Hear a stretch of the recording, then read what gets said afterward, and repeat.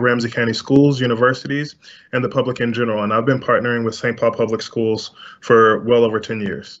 Uh, the purpose of this online forum is to have Superintendent Gothard and members of the St. Paul Public Schools leadership team answer questions for you, uh, uh, the, the families of our secondary students. Um, the team is ready to answer any questions about the return to school for secondary students on April 14th, um, and all questions are welcome. Uh, St. Paul Public Schools families are invited to post their questions uh, in the chat. I would ask that you keep your questions to the topic at hand the time we have tonight will be best used if you all ask questions that can be answered by the leaders that are uh, currently joining us. Um, just a note for folks, uh, we have Hmong, Spanish, Korean, and Somali viewers. Um, and so we do have a multilingual uh, language version of this forum, and it's going to be available online at uh, spps.org as soon as possible.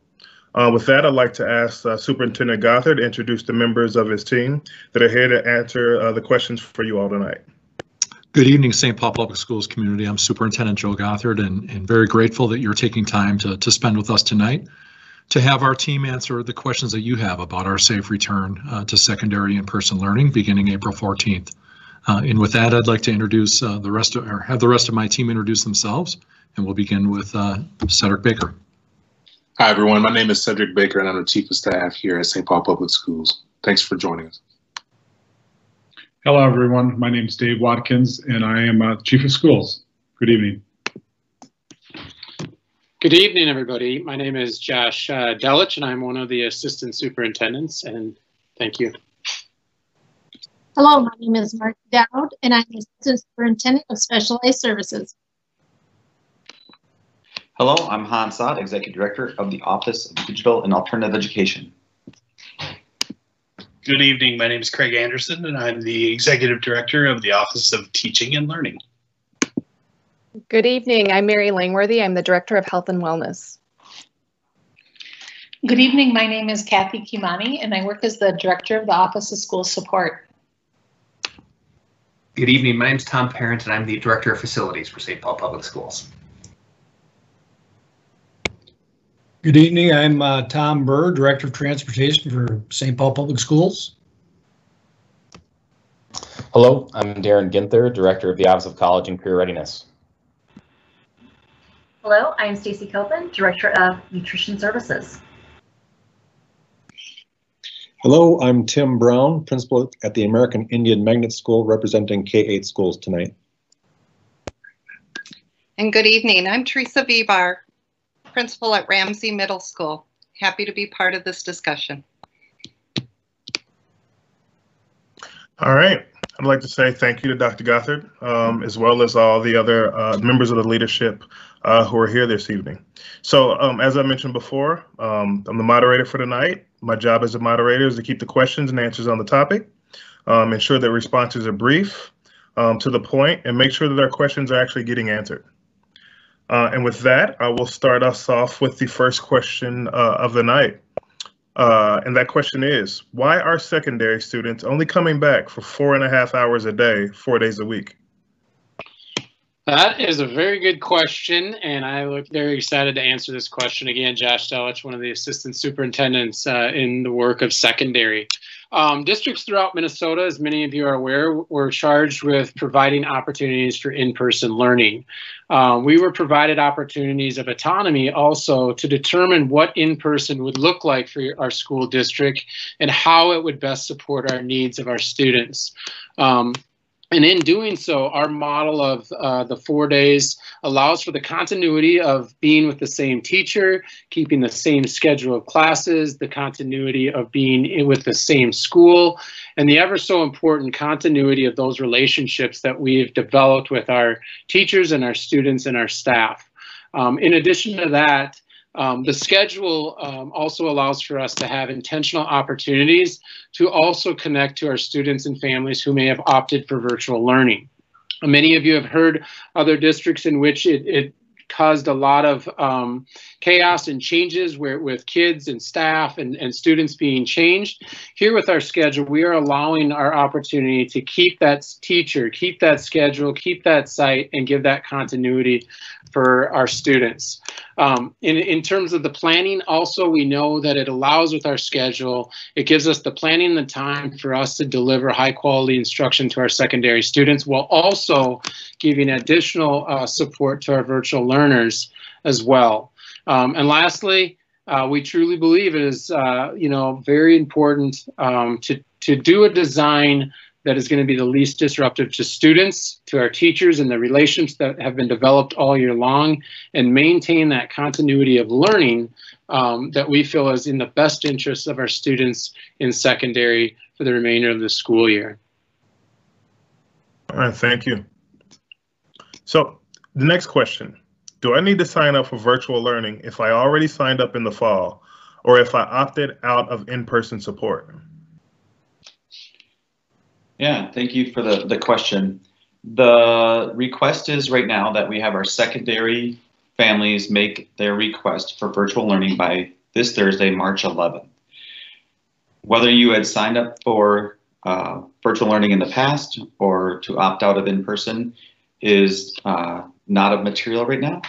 We want you to choose uh, actively right now to uh, participate in virtual learning for the remainder of the year by March 11th. So we are asking folks who have families who have previously submitted to submit now, given the current conditions and the current uh, rationale for coming back to in-person by March 11th.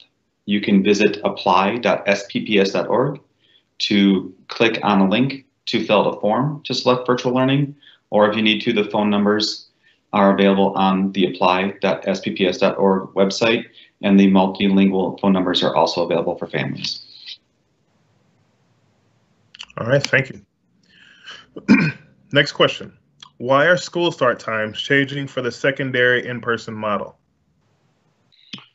All right, uh, Josh Delich, again, Assistant Superintendent here. Um, as many of you are aware, um, we have our in-person elementary uh, learning opportunities that are happening. We also have our on-site uh, learning that is going on. And as we move into this secondary transition of uh, in person, which we're very excited about, uh, one of the things that we wanted to ensure is that we are able to support our transportation demands uh, and also ensure, obviously, the safety of, of all kids and all of those that are being transported. And by adjusting our start times, it allows us uh, for our in-person secondary learning to continue to keep that continuity um, of what I mentioned earlier.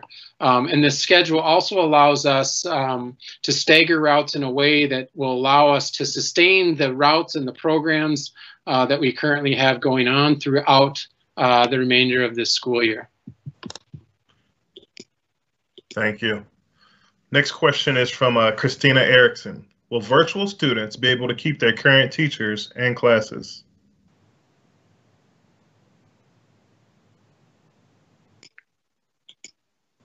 All righty. Uh, that is, again, I'm coming back. Boy, uh, hopefully you're enjoying listening to me. But um, what I can share with you is yes. Um, the design that I shared earlier is our intent is to keep that continuity and those relationships that our virtual learners have established um, with those teachers and throughout uh, our also our schedule design, the way it's set up, that there's opportunities in which they would even be able to uh, experience uh, the relationships with the kids that they've developed virtually. So we're very excited about that. Excellent question. All right, next from a Vanita Branby. Will there be rotating shifts of students so classes and hallways aren't overcrowded? For example, will seniors go on certain days, freshmen on others? Alrighty, so one of the uh, items that I'd share with you again would be um, we are we had a analysis done through our buildings regarding um, looking at what it looks like in schools from hallways uh, passing periods, um, common area places. And throughout the course of a school year and prior to, there's also signage, which I'm sure you've seen, arrows down there directing students um, and addressing uh, where the flow of traffic will be to make sure that we are maintaining uh, the appropriate distance and making sure that students are, are not uh, loitering in areas that they need to. I also would like to call on just kind of one of our principals here on the call that could also talk about how they are approaching uh, working with um, what the question you've asked regarding um, just the, the rotating of students and how they've set that up. And I see Dr. Brown, you're up there, sir. Thank you. Yeah, thank you. We uh, just today met as a team with middle school, and one scenario we're playing with, we're not sure how this will work exactly yet, but one scenario was simply uh, what would happen if we doubled our passing time and released half of the students, you know, at first, they got settled, released the second half. So there's we're trying to play with that right now, just so there's not the crush in the halls for passing. Um, so that's one scenario we're trying to work through.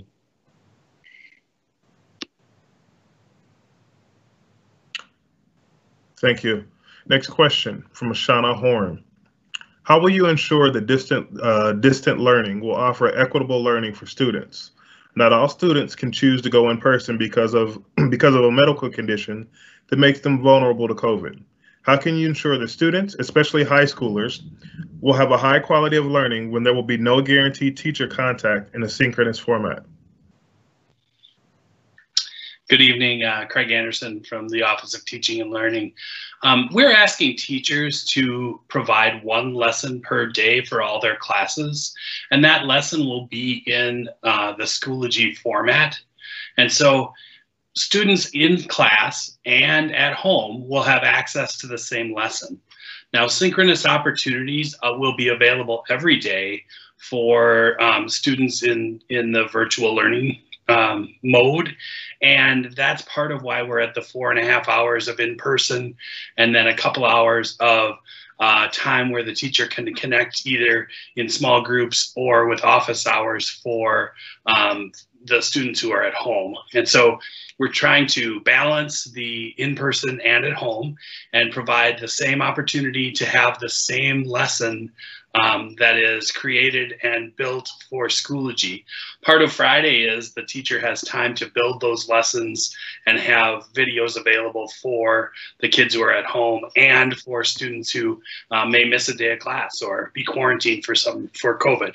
And so it's kind of a, a system that's going to work um, for all students, regardless of if they're in school or at home.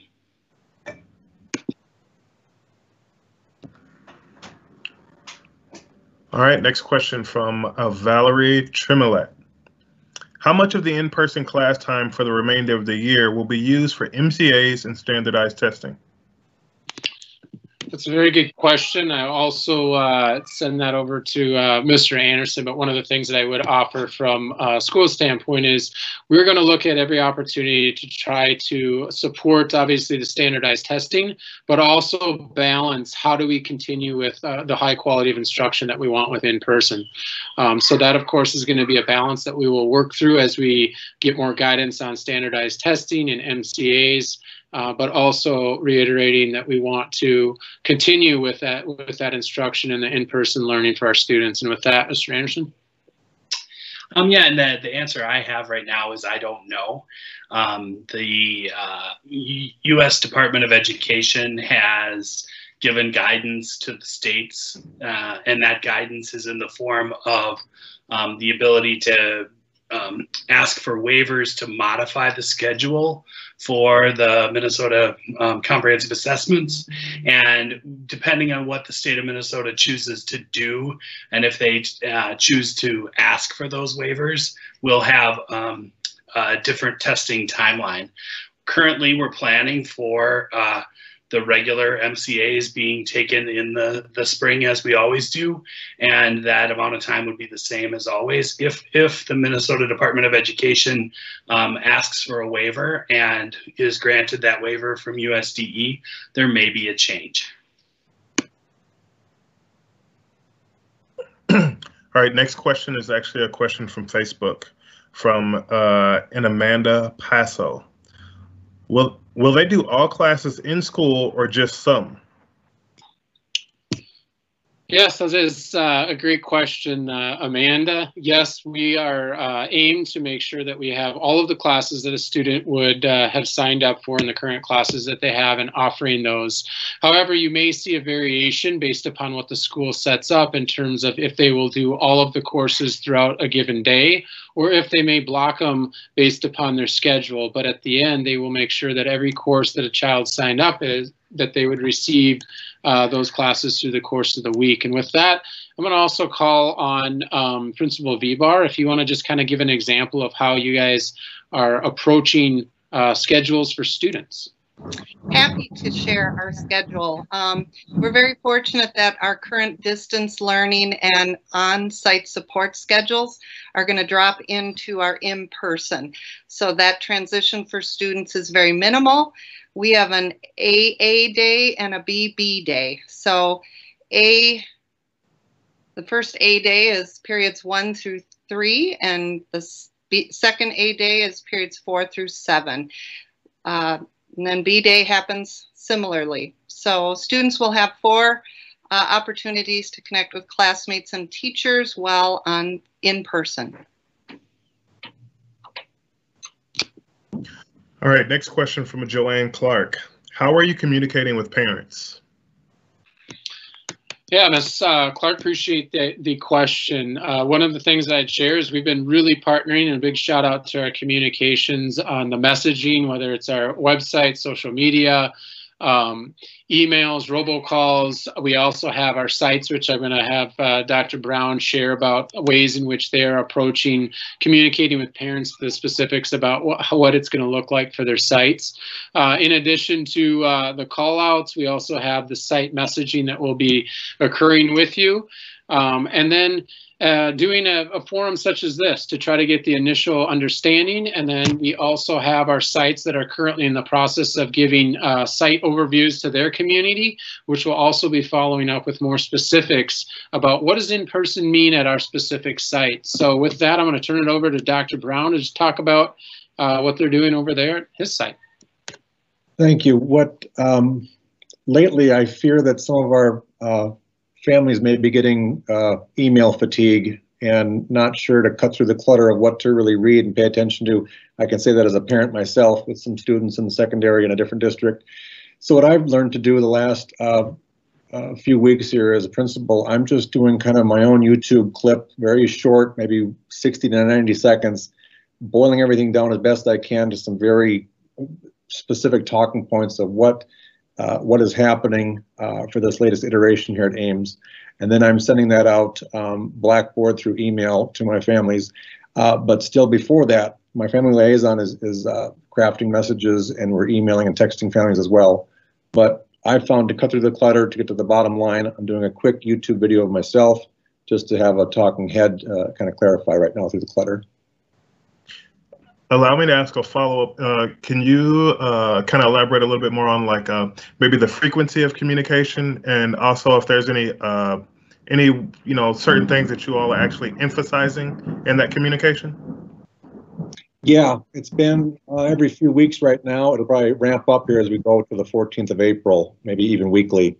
And right now, the emphasis has been on families about um, making sure that they uh, get their numbers in by the or their requests in by the 11th um, right now. Right now, it's kind of the timeline. As we get closer to um, the end of the month, it'll be more about the specifics of what the school will look like and the programming. Thank you. Uh, next question from a Scott Mickelrath. For students that remain virtual, what would the differences be and how different will it be? So really compared to how, if they've been virtual the entire time, it should not change too much. Some of the scheduling around when the synchronous times are, when the office hours are for the teacher, and um, those those um, details of the school week may change just based on the fact that um, we're going to have students in person. However, the standards are the same, and the teachers will be teaching the full coursework uh, using Schoology for all of their students and creating one lesson for students who are at home and students who are in, in person. And so that one lesson will be the same, and they will have um, opportunities to interact with their teacher. Um, however, the times may change a little bit. All right. Next question from, uh, I believe it's Leah Greenside.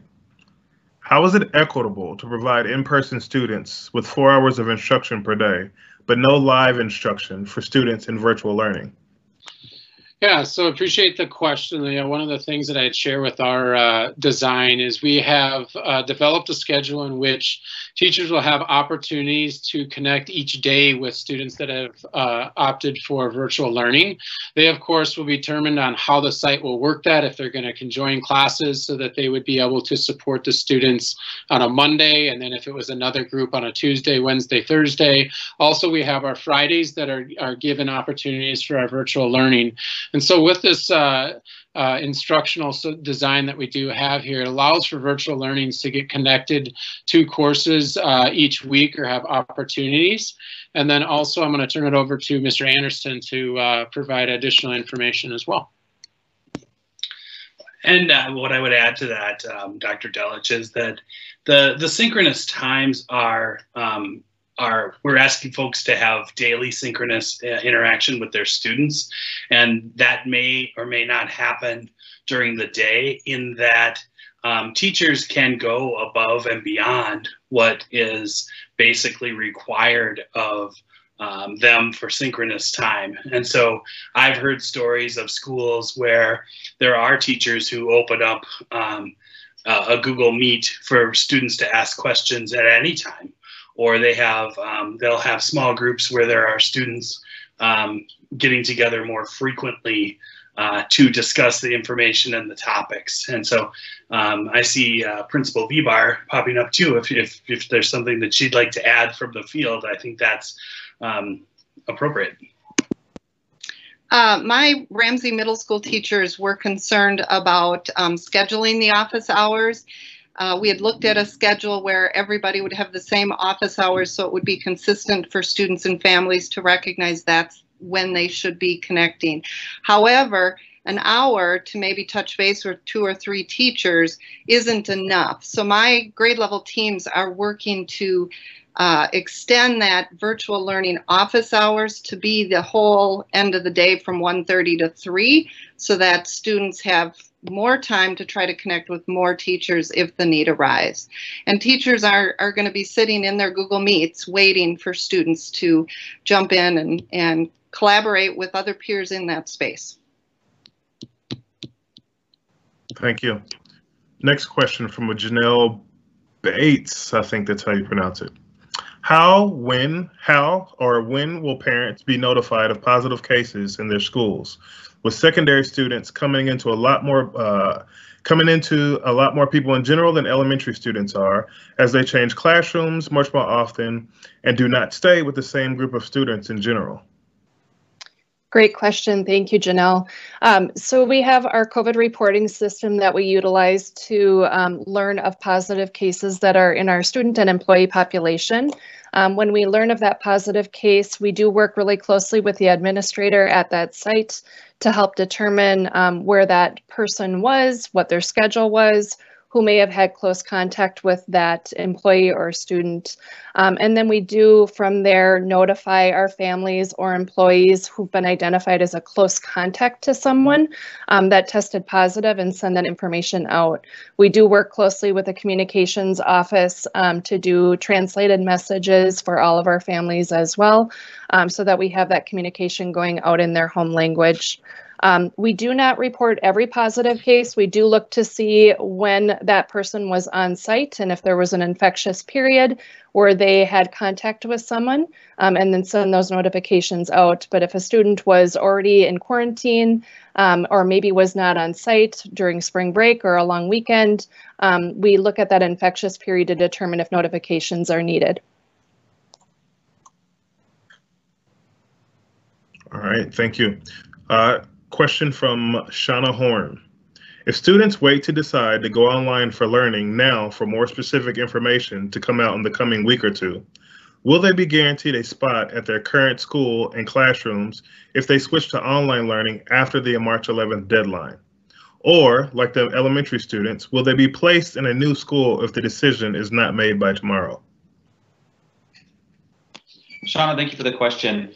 Uh, if in, in the case of secondary, the way it's set up is we want families to choose by March 11th so that uh, we're able to make proper preparations for students who are coming and making sure room assignments for class sizes are, are uh, within our safe learning plan uh, parameters. if students choose to come in person and want to switch to virtual learning after the March 11th, that will be accommodated and they will not have to have their schedules disrupted. That's one uh, key design element of the secondary model is the students won't have to change their schedule. They will move from the in-person model to virtual learning. Uh, and that is a, a one-way uh, path. We do not have the option for students to move from virtual learning into in-person into the secondary model. And again, that has to do with some of the complexities of making sure that room assignments for the class sizes coming back are appropriate for our safe learning plan. Next question from Abby Pinto. What lessons learned from virtual instruction will influence the use of in-person class time when students return to the building?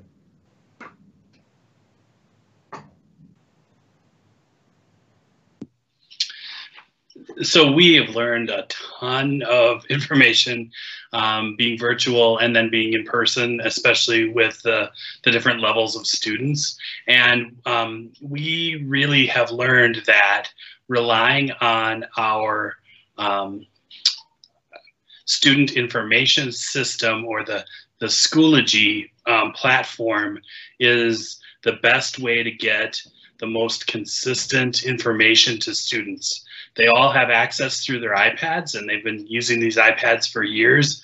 We haven't always had consistency with what classes and courses look like. And so we've we've developed consistent courses to match um, what's necessary to go through a, a, school day in an asynchronous way or, a, or a anytime kind of a way. And so that students can still get all the information of school from their teacher and teachers can still follow up with students, um, but it's organized differently than we're, when we're face to face.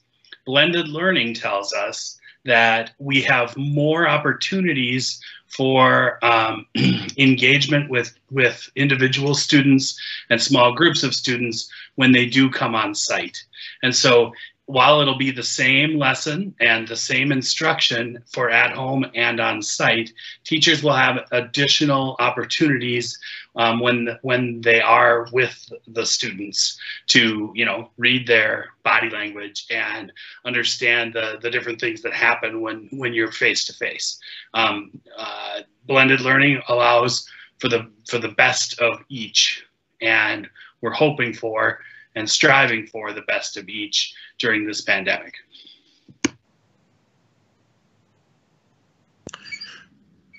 Next question from Michelle Hanson. Will students have five days a week in person by the fall as an option?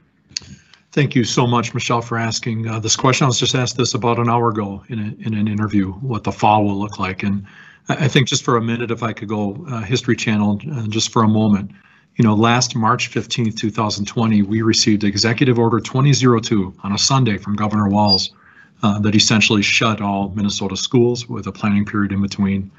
On July 30th, we received Executive Order 2082, uh, and that was the Safe Learning Plan. So it laid the framework for uh, what our different iterations of reopening uh, were for St. Paul Public Schools and all schools and school districts in Minnesota.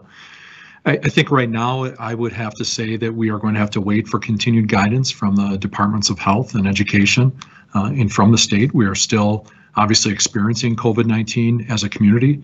I'm very happy to say that uh, our cases in Ramsey County have, have declined steadily and, and seem to be uh, going in a, in a very good way. We're the lowest, at least in terms of how uh, school districts uh, uh, chart the, the data for uh, cases per 10,000.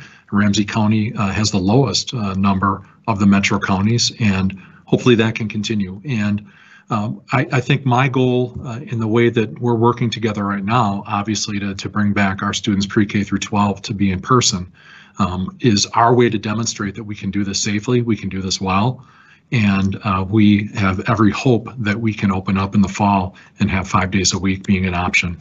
There's a lot that will have to take place in between there. We haven't even talked about vaccines for uh, for people under under the age of 18, um, and you know hopefully throughout the summer we can continue to uh, have our communities be vaccinated and begin to think about our our school age um, young adults. I'd also like to say that I think that that's a question that um, more aptly could be be answered by saying that that's that's a question that everybody has a hand in working together and partnering with uh, and given an answer. Uh, and the reason for that is because it, it, it, depends on how well our, our school systems are in place, but also how well that our community members are following rules and recommendations um, outside of, uh, you know, in their homes and outside in their own communities.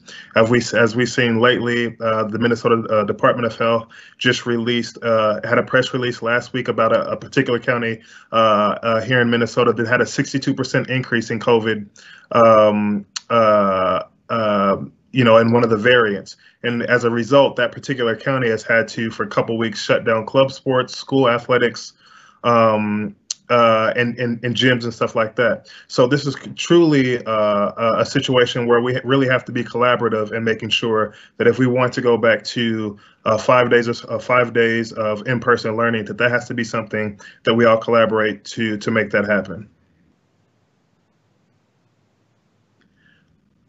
Next question uh, from Ms. Janelle Bates once more. Is there a sense that all or most teachers will have been vaccinated by the April 14th date? Would you like me to jump in, Dr. Gothard? Maybe, yeah, why don't you start, Mary, and I'll see if I can maybe pick up some things at the end as well. Sure, that sounds great. Um, so we've had two paths. One is from the state plan to receive vaccination, um, and that has certainly ramped up a lot more recently with a lot more opportunities for our staff to get vaccinated lots more local clinics. Um, but in addition, um, one of our partners here, William Moore um, and his team, we've been able to have a larger allotment from Ramsey County where we can also work locally to um, address those that staff that remained that have not been vaccinated. Our best estimate is probably 70 to 80% of our staff are vaccinated for those that are interested in getting it. Um, even this week, we have another opportunity for our, our, staff to receive the vaccine this coming Saturday. We have an allotment of 600 vaccine um, for the second dose to happen again in April. Um, but we'll have regular allotments every week now moving forward, which is a great opportunity for in the coming weeks to really finalize anyone that is choosing to get vaccinated um, pretty quickly here. But we're, we're in a good spot compared with where we were a month ago for sure you know, the only thing I'll add, thank you so much, Mary, is that if if you know of anyone, our families or are part of the district um, who is struggling, who hasn't had that opportunity, please have them get a hold of have them get a hold of myself, Mary Langworthy. Um, there are state vaccine um, emails and, and resources that that people have. We are here to help uh, make sure that we can provide an opportunity for vaccines for all of our staff. Thank you. The next question is from uh, Gabriela Cervantes. How can you guarantee that students will have the same teachers in virtual learning if those teachers will be in school teaching in person? The impression we've been getting from my son's high school is that they will only have one hour to meet with their teachers. Yes, Gabriel, uh, thank you for that question. Um, one of the things that I'd share with you uh, with the the instructional in-person design that we uh, are using here in St. Paul, it allows us, as mentioned earlier, to keep that continuity with the teacher. So uh, your child would be able to have the same uh, teacher. And the way we set up our schedule is that our teachers that would be working in person with, with students would be working in person. And the way the schedule is set up for that modified time of the day allows our teachers to then go back into the virtual uh, learning and be able to support our students in, in their uh, learning. In addition to that, I think we might have a couple of our principals, uh, Principal Vibar or Dr. Brown, if you want to share anything on how you guys have been approaching this and working with your sites. Um, we are encouraging teachers to make sure that they're doing videos uh, in their lessons so that the delivery is not just um, words on a screen, but also their teacher teaching and providing insight into the lesson. Um, I do have teachers who are talking about how they can have their Google Meet open while they're instructing. That is not a requirement of teachers, and it is very difficult to do. Um, but I do have teachers who are, are looking at how they can include uh, virtual learning students during those 4.5 hours in the morning, especially for some of the middle school social emotional needs that um, our 11 to 13, 14 year olds have, and which the pandemic has been really hard on for that very reason. Uh, same at AIMS. They're a little tricky here with the K-8 um, because our some of our specialists, for example, music and and uh, PE teachers, we share with the elementary. Uh, but we're able to pull this off because um, we're doing some innovative scheduling. For example, we're going to switch around second hour with fifth hour in middle school to make sure that our, our uh, students can have the same teachers here in person. Thank you. So the next one, we have another Facebook question from a Sonia Helmy. What about band, wind, brass instruments in particular? So good evening. Thank you for the question. Um, uh, about six weeks ago, our um, program manager for music across the district came to me and said, "Hey, if we ever end up in person, we're going to need these." And when she, and I had no idea what these were, but basically they're masks for your instrument, and they have a little bit of elastic around the edge, and it goes over the bell of a um, trombone or trumpet or uh, clarinet. And then there's even uh, uh, a mask for the flute. And so we have we have used our um, ESSER funding to uh, get masks for all of the instruments. And then in the governor's safe learning plan, um, it also lays out that in music classes, we're, we're to mitigate um, spacing and have at least six feet between each student when they're playing their their instrument with a mask on. So, and the instrument has the mask, not the student. Um, and then when when they're not playing the instrument, the student would have the mask on. So it's a it's a we're we're gonna test this out. All of the items are available, and um, I see Principal Vibar, and I'd love to hear from the field. And those boxes of instrument masks have arrived. I happened to open one by accident and I'm like, what are these? Um, but our uh, band instructor at Ramsey is super stoked and just regarding the spacing, if you think back to most band, orchestra, music rooms, they're one of the larger rooms in the building. So we are very confident that our um, orchestra and band and uh, will be able to gather and actually play together instead of playing um, primarily virtually as they have thus far. So the masks for the instruments have arrived and instructors are exploring how to make the best use of them. Thank you. Appreciate those answers. so, uh, next question um,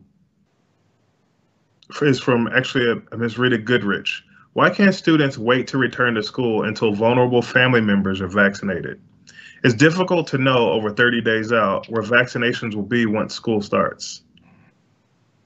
Rita, thanks for the question. We know this is a difficult uh, decision to make uh, for some families, and I appreciate the question. We are uh, appreciative of the recent message from the state and the governor around the increased uh, availability of vaccines for family members uh, and and uh, our citizens in St. Paul, or uh, sorry, in the state of Minnesota. So we're really hoping that that information is helping to guide families and what might be available uh, by April 14th. But it, again, with the complexities of setting up the secondary schools and making sure that those classroom uh, classrooms are set up appropriately for the number of students, as we talked about with music or whatever the class might be. We want to make sure kids can be spaced out and uh, uh, we can be ready to receive our students on day one of in-person learning. We had to have the deadline of March 11th there. Again, families can choose to move to virtual learning at any time throughout the rest of the year, but we will not be able to move students into in-person uh, after the March 11th date. Thank you, Mr. Ott.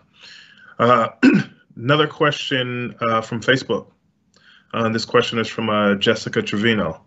Will students that choose the virtual learning be included with the class while it's being taught live so they're on the same page? Um, thank you for the question.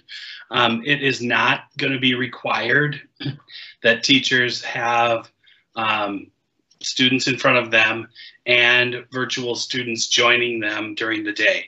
It is, it's available for teachers to use, and at the uh, in creating one lesson plan for for both groups, they will have availability to the same material and to the same and to and to some instruction. And then because the day is shortened for the in-person students, there will be time for the virtual learning students to, to get access to their teachers for questions and for um, reteaching or things that they didn't understand. And it's not ideal, but I know that there are teachers who are planning to try it, as uh, Principal Vibar um, shared with us.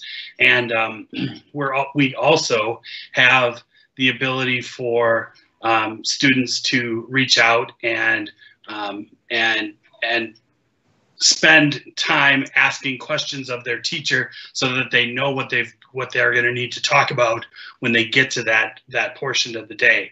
The schoology system allows for students to ask questions or give feedback to the teacher on how how things are going for them and what they understand and what they don't understand. And so it's it's this balance of when am I going to get my just-in-time instruction? And some students will get it um, in person, and other students will get it virtually at, uh, towards the end of the day. All right, another Facebook question uh, from Sarah Elfala. And she basically asks if she chooses to stay virtual, will she be able to do uh, to be an in-person graduation?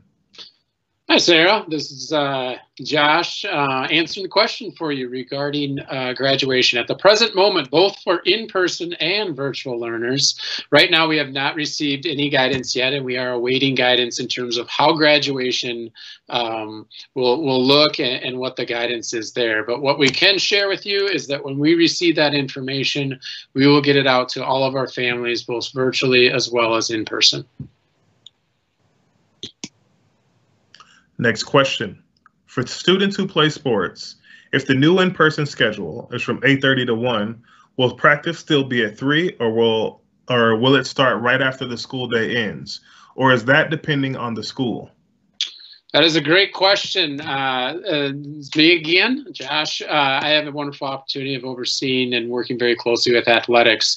What I can share with you right now um, is that our sites, uh, based upon their schedules and our athletic directors are well aware of our plans for in-person. And of course, we want to make sure that all of our students, whether in-person or virtual, our student athletes are supported to make sure that they're present for practice or whether that's heading out for a game. So uh, through site to site, they'll work that out with the ADs, but making sure that our student athletes are given that opportunity to be there uh, based on uh, based on the learning model that they've chosen for, for them. Thank you. Next question is from uh, Peter Hendricks. For families and secondary students who want to return, is there a reason why students are not able to return for full days and five days a week. Minneapolis appears to be allowing their secondary students to return for full days, five days a week. Yeah, Mr. Hendricks, uh, thank you for the question. Um, going back to the initial uh, overview and introduction I provided regarding our in-person opportunities, um, what we know is that many uh, districts across the metro have opted for four days. Uh, many of those districts opted for those four days because they recognize the necessary timing of planning, um, also the opportunity to keep and maintain the continuity of schedules with students, uh, recognizing the um, impact that it would have in terms of schedule changes, in terms of teacher movements, um, and those pieces of data that are impactful uh, for students. And we, again, uh, in St. Paul, selected our opportunity to stay with those four days um, for this for wanting to make sure that we can maintain uh, the, the the best continuity for our learners and maintain those relationships with our teachers. So thank you for the question. All right. Next Facebook question from uh, Amani El Arabi. How will all EL families be effectively communicated with about changes in the schedule? I appreciate that uh, question. One of the uh, intentional focuses that we have been uh, working very closely with our communications department, along with our uh, site leaders, is uh, making sure that we are intentional about communicating to our EL families. So all of our translations and information that is coming out is in uh, a number of languages to help and support that. We also, as early mentioned, talk about all of the different messaging that we are doing. We are trying to ensure that we are being very communicative to all the different uh, languages that we can to uh, identify um, information and support you all with our, our plans of moving in person. In addition to that, we also have, as mentioned earlier, forums such as this. We will also have those site uh, informations that are going out to um, communities that are led by our principals. And with that, um, I just want to quickly uh, give our principals uh, a quick opportunity to just talk about how are you guys uh, reaching some of the EL families. And I know uh, Dr. Brown and Principal Vibar, you guys are doing a remarkable job with that. If you want to share really quickly.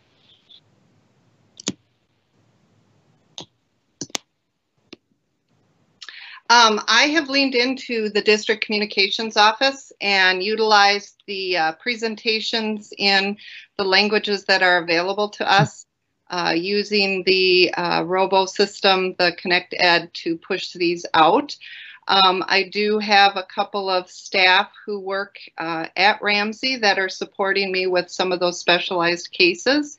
Um, but I'm grateful that St. Paul has such a hardworking team of uh, communication experts with all of the different languages that um, of the families we service. Same at AIMS. Um, we're blessed here at this building to have two remarkable interpreters here on site, and uh, they know our families very well. And so by the time I give them uh, a document to translate, uh, they already come back with some questions and can help refine it for our families and help me tweak the message before it even goes out. So um, we do that with um, with Hmong and Spanish here at AIMS, are the primary languages we have at the building. Thank you. Next question from uh, Kim Nichols. Was there any consideration of a hybrid model? And what will the procedure be for a COVID outbreak, for example, in a classroom or other area of the school?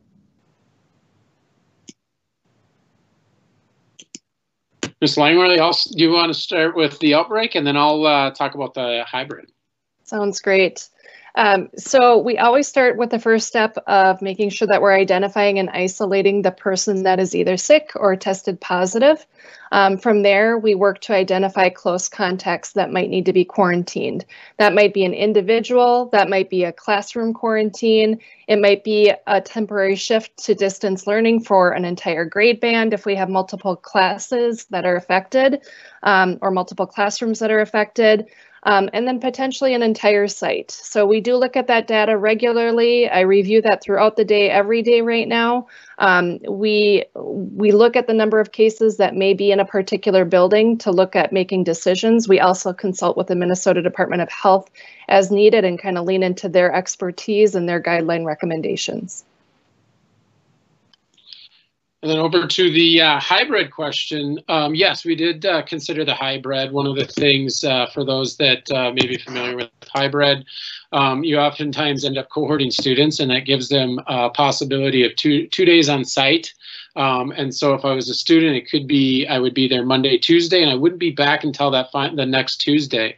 Uh, with our um, in-person model, it allows our in-person students to uh, maintain a consistency of being on site four days a week, um, getting that that teacher connection. In addition to that, as mentioned, I know I keep saying it, but is really maintaining that continuity of schedule uh, maintaining that continuity with their site and maintaining that continuity with teacher and most importantly um, maintaining those relationships that they've developed and when we uh, heard the voices of students and also with parents regarding uh, concerns about shifting and moving out from their teachers and everything that they've developed um, the hybrid model was not the model we selected and and that is why we went with our in-person model of providing um, the opportunities that we have in uh, St. Paul for our students with in-person. Great question. Thank you. Next question from a Carla Lowerman Cummings. The local private schools in surrounding suburban districts are offering distance learning with students synchronously. So the teachers teach both in person and distance, distance learners can listen in. Why is St. Paul Public Schools not doing the same?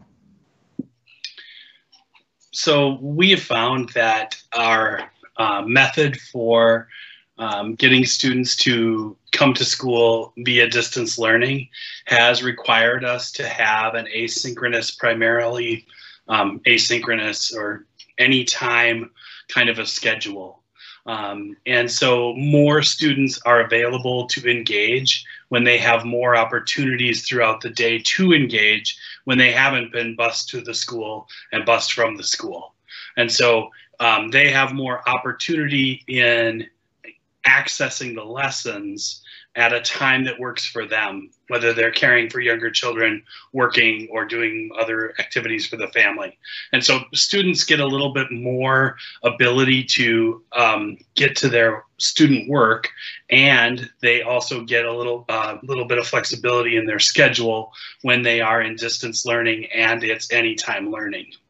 Um, a lot of the lessons that have been learned and folks are also offering in some spaces the availability of some synchronous times with with their classes maybe at the beginning of class or when they're going to have um, uh, a time when they're doing their um, foundations class or a, a, class where they're where they're working together to to bring around um, the idea that they're they're having um, So if it's a social emotional portion of the day where they can offer that that synchronous time or same time event for students who are at home and at school. However, having the classes be the teacher create one lesson that works for kids who are at home and works for kids at school is the best way to accomplish this without asking them to do two jobs and accomplish and do two things. Um, and it, it also offers flexibility for the students who are in distance learning. So in short, it's just it's purely about flexibility for those uh, students who have family obligations at home, uh, given uh, the unprecedented situation that we're dealing with uh, with the virus, um, and, but also uh, uh, not just flexibility for them, but also being more helpful to staff delivering curriculum. Correct? It, it, it is. Uh, it's both. Yes. Thank you. All right. Thank you. Next question is from a T. Smith. Is the district supporting teachers with the technology to allow them to connect with students virtually, such as a Google Meet, cameras, etc., or is the weight of this completely on the teacher to navigate?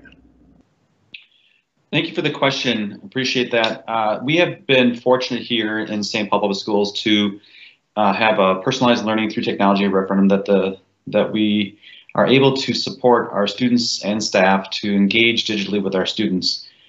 And so along the way, teachers have had a laptop, a MacBook with a with a camera and uh, an iPad as well, so they can replicate and simulate things that their students are doing on their iPads. So the teachers have both of those devices. We subscribe to Google Enterprise Services, so teachers not only have Google Meet, but they have the full suite of Google Meet uh, tools, which include breakout rooms and other uh, features within the Google Meet environment. Teachers also have access to their learning management systems, in the case of secondary here, Schoology, and a variety of applications that students can have on their iPads or they can uh, have deployed out. And there are subscriptions and things like that that also support student learning. So there are a variety of tools and resources within the classroom as well. We've uh, many of our classrooms are now being upgraded with uh, over our facilities master plan to have integrated audio systems to help support uh, audio, and then integrated projection systems uh, and projectors have been part of our instruction for a long time. So those tools and resources continue to be provided as best as we can to help the teachers connect with the students, uh, both virtually and in person through our digital work. All right, thank you. So we have time for one more question here. This question is from a Lynn Duma. Will the grading structure return to the usual A through D for the fourth quarter, or will the modified structure, or, or will the modified structure P for any passing grade uh, less than a B remain? It's a great question. We will be remaining in the modified grading practices for the rest of the year. So students earning an A plus to a B minus would get their letter grade. Students getting a C plus to a D minus would get a P. And then students who do not successfully pass their course would receive an NP. Um, important to note that the NP, a non-passing grade, is not affecting students' GPAs. They'll need to recover that credit and the learning that goes along with that, um, but it doesn't adversely affect them. And the last piece I wanted to add with that is this is um, aligned with what some local colleges and colleges nationwide are doing. The University of Minnesota is allowing um, passing um, grades that are um, GPA neutral. And for our student athletes and families with student athletes who are concerned about um, does, is this going to affect NCAA eligibility? Um, the NCAA um, clearinghouse um, is actually allowing this to only positively affect a student's standing academically. It would not negatively affect them by getting a P or a pass on their transcript. All right, thank you. Um, so that's all the time that we have for questions here this evening. I'm going to pass it over to Superintendent Gothard to finish off. Um, as has been customary, if you have questions that you'll put in the chat that were not able to be answered, typically those will be put up on the St. Paul Public Schools website uh, with the, those questions and the answers. So if you have entered a question in the chat and it was not able to get answered, please in the coming days, go to the St. Paul Public Schools website and look for your questions and answers there. Thank you, Mr. Moore, and, and thank you for the reminder. And, and please know that um, there's many good questions that are that are still left unanswered, and, and we will work as quickly as we can to get those out there. Um, some some incredibly important ones, and I can tell, uh, you know, being an SPPS parent myself, uh, clearly this is impacting each of you differently in terms of the support that you uh, want and and uh, what you desire for for your student and uh, in St. Paul Public Schools. And please know that uh, that we take that seriously and we really want to try to be there uh, for each individual. And that's truthfully what's made this an incredibly challenging uh, year for us um, in making sure that decisions we make are impacting our students in a way that all can be successful. And that looks different for each one of our students and our families and our staff in balancing uh, what the right decisions are for all of our, our students and our staff and our families and making sure that we can um, uh, that we can accomplish what we tell you that we're going to. And I, I think it's important that I share and I go back. I, I, referenced earlier tonight Executive Order 2082 back on July 30th. That's where the Safe Learning Plan uh, was first um, originated and, and, delivered to us. At the time, the learning model recommendations in there, again, it was 0 through 10, uh, 10 through 20, uh, between uh, 20 and, and 30, over 30 to 50 uh, and it, there were various ranges in there for the learning model that it recommended, from full distance to hybrid uh, to in person. And it was a little bit different for secondary and elementary. Um, but the first number that we got was 23. Uh, that was back in uh, early August when we, we, first got the plan. And, and again, we'll get another data uh, drop tomorrow uh, for the, the Thursday Minnesota Department of Health data for Ramsey County. At the time, we were again, trying to have all of these decisions, unsure of what staff would be available, uh, what students would be here in terms of enrollment, and making sure that we could have the precision necessary to develop bus routes, routines, and lunchrooms to get students in the right places, to make sure we have the right staff hired, uh, to uh, cover all the uh, duties in all of our buildings, and did not feel at the time that we would have, that I would have the data to be confident in saying we are ready to start in anything but distance learning. And that was a hard decision. I took a, a, lot of opposition from that decision. Um, I, I, truthfully did, uh, from from families, uh, from staff, from community members, and uh, with that, then had to right away create what is distance learning going to look like because it has to be better than it was in the spring. We know that that was a, an emergency order. Uh, we didn't have a lot of time to prepare and plan, and really wanted to work to do that. And while doing that, also create an opportunity for us to uh, go into hybrid learning, uh, you know, sometime after the start of the school year. And that was our plan. And I won't go over the entire thing because, you, you know, we did get one stage in. Uh, we had a delay uh, with some of the equipment that we uh, that we purchased, and, and by the time um, the end of October hit, uh, we were in that pre-holiday uh, surge in cases.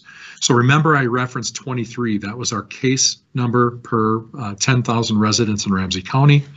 Uh, by December 3rd, we were at 133. So we were far beyond, uh, more than double uh, the safe rate for being anything but distance learning. 50 was that that cutoff, and that was all districts in uh, in the metro at least. I can't speak for the entire state. We made the decision on December 17th. We were going to return to elementary in person. And we did so saying that it, we're going to make the decision now for six and eight weeks out. At the time, the case rate was 106. So it was still pretty high, but we had reason to believe that there was going to be um, a, a, great ability with uh, some of the governor's activities, uh, really um, asking people to, to isolate and to and to physically distance, that we could truly uh, see the case rates go down. And they did, and they have. And I'm so thankful for that because by the time we opened February 1st, uh, for our, our first uh, load of in-person students at the elementary, we were at 35.5. Again, a pretty high number. Some of you may remember in our return to hybrid staging, we used 30 as our cutoff. That was our magic number at the time. Um, and you remember we were right at 27 to 30, uh, kind of in that range when we were uh, bringing back our stage one and contemplating bringing back stage two. So we get through the, the holiday break vaccines begin. I understand it was a lot to roll out at the very beginning, and I want to fault nobody for that. I mean, there was a great deal of what I've, I've seen called vaccine envy. Uh, people wanted it because it was here and it was ready. And I want you to know that our, our team here in St. Paul Public Schools was truly ready for it. Uh, we, we really were. Uh, but quite honestly, we had more uh, demand than we did supply. And that was theme for many different organizations, individuals, and communities you know, back in uh, the end of January into the beginning of February. We're in a different place now, so I don't want to talk about, you know, vaccines anymore. But I do want to share with you that our number last week was 15.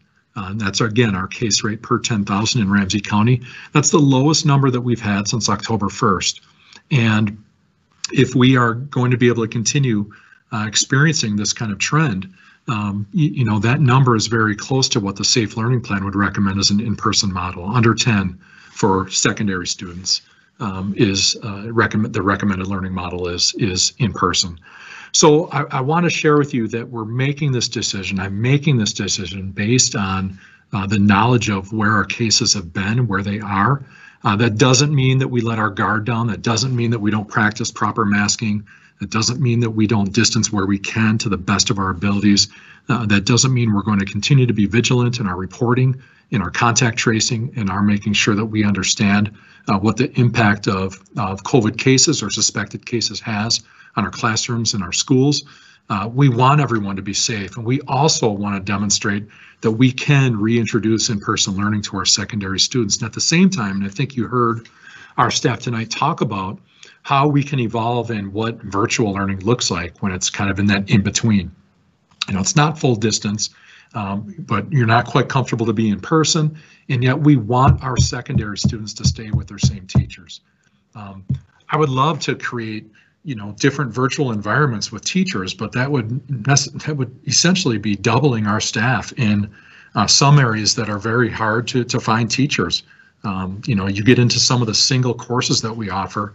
There might be one teacher uh, in a building who teaches uh, that class, and for us to offer that mirrored experience, um, you know, we would have to replicate our schedule. We'd have to double it. Uh, so we thought it was very important for us to maintain, as Dr. Delich mentioned, the continuity of, of teacher. And with that, it may not be perfect, but I can share this with you. We will continue to gather feedback. Uh, we will continue to uh, to work to make sure that it isn't just meeting the students' needs, that our students are able to thrive and find uh, that they can be successful in whatever environment that they choose. That's my commitment to you. And, and again, I can't say to you it's going to be perfect on day one in terms of the expectations that you have, but I can say that you have a committed group of, of leaders, you have a committed group of, of building leaders, and you have a committed group of educators and support staff who really want to make this work for us. It has been a hard year.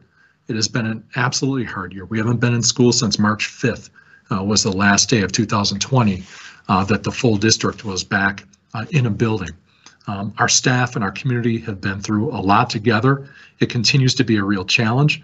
And while I want to say that there's hope on the horizon, um, I also want to say that there's hard work to be done. And I do not want to salvage this school year for anyone. I really want all of our students uh, to feel like they're getting the support that they need Uh, We'll continue to get guidance on some of the activities that I know you look forward to. I've heard from many of you about um, from athletics to, to proms and to graduations and things of that nature. And we really want to close out our school year in the most positive way possible. And I can share with you that I can't do it alone. I can't tell people what to do or what model it is going to be and not have each of them have a personal uh, responsibility with that. And as Mr. Moore talked earlier as well, uh, it's great that our case rate is low, but that can change on a dime if uh, if people let their guard down and if we're not practicing uh, the the safe protocols and, and safe uh, um, standards that we've now been um, under for for more than a year. Um, so with that, I want to thank you all uh, to, to our families. I know that this has been incredibly difficult. Uh, you're making choices about uh, education at a time in the in in the, both in the school year and in uh, where your uh, individual or students are at. And I know it can be extremely difficult. Please know that I uh, respect the um, questions that you have, the the concerns that you have, and our team is committed to working together as hard as we can uh, to again make sure that we can ensure that our students are having a successful experience as we truly close out the school year and, and hopefully can remain safely in-person learning and supporting virtual learning if that's the choice that you make. Uh, so again, on behalf of our Board of Education, uh, on behalf of um, our staff and our community, I want to thank you and uh, appreciate you joining us for tonight's uh, uh, Family Forum.